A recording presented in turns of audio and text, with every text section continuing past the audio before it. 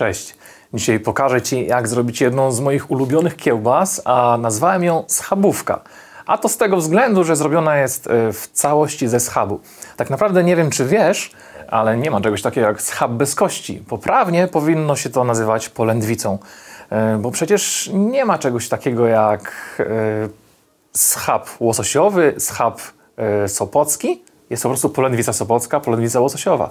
Dlatego, że odkostniony schab jest po prostu już polędwicą. Ale mimo wszystko radzę Ci spróbować na początku dawek, których ja stosuję, bo może okazać się, że będą one dla Ciebie w porządku. A w razie czego później sobie będziesz korygować. 57,6. OK. I teraz rozsypuję tą peklosu tu, tym razem już po prostu tak troszkę na oko. To już jest wystarczający efekt.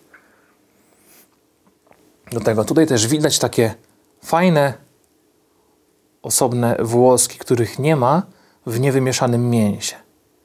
Tutaj widać dosyć wyraźnie. To jest też znak, że jest już w porządku. Jest genialna. Całkiem inna na ciepło, gdzie jest bardziej charakterna, gdzie wybija się bardziej ten czosnek, majranek i pieprz. A w tym przypadku już jest nieco bardziej subtelna. Naprawdę zachęcam Cię do zrobienia schabówki, bo jest to coś nietypowego, a naprawdę bardzo fenomenalnego.